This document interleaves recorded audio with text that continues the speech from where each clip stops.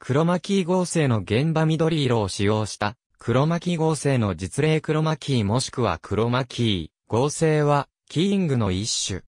特定の色の成分から映像の一部を透明にし、そこに別の映像を合成する技術。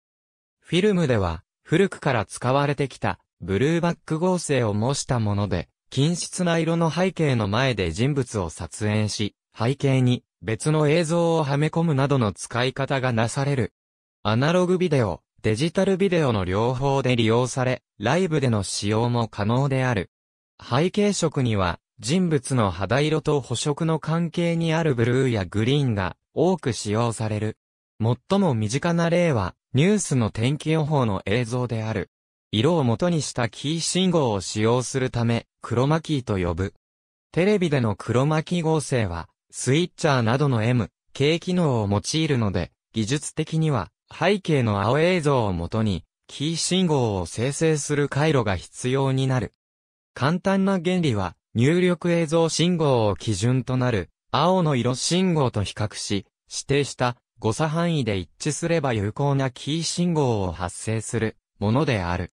背景と前景との境界部分に、キー信号の変化を適切に処理して、境界部分で背景色が見えたり前景が隠されたりせず、すっきりと合成できる性能が求められる。このため、キー信号は日キーでなく、境界に傾斜を持たせられる、リニアキーとするのが普通。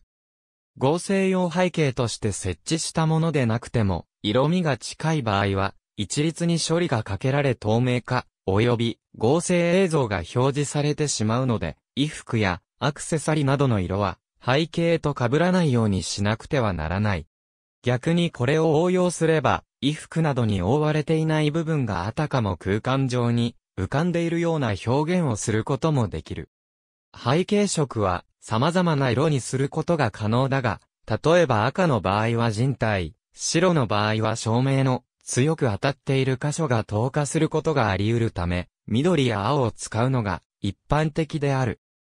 CM や映画など高品質の映像合成を求められる場合には、従来より 35mm フィルムとブルーバックによる光学合成が利用されてきたが、90年代後半よりコンピュータによるデジタル合成技術が広まり、より高品質な合成映像を得ることができるようになっている。コンピュータソフトウェアによる黒巻合成では、ウルティマット、プライマットキア、キーライトなど、専用の合成ソフトウェアが用いられることが多い。Adobe Premiere などの映像ノンリニア編集ソフトにも、簡単なクロマキーができる機能が入っている。アパワーソフト社開発のライブ配信の背景を変更するアプリであるカストティンゴもクロマキ合成機能があり、ライブ配信の背景画面をバーチャルのものにしたいときに使える。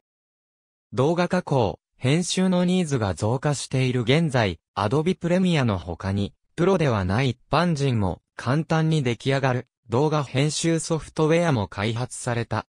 ABA と eMovie After Effects B カットなど、ありがとうございます。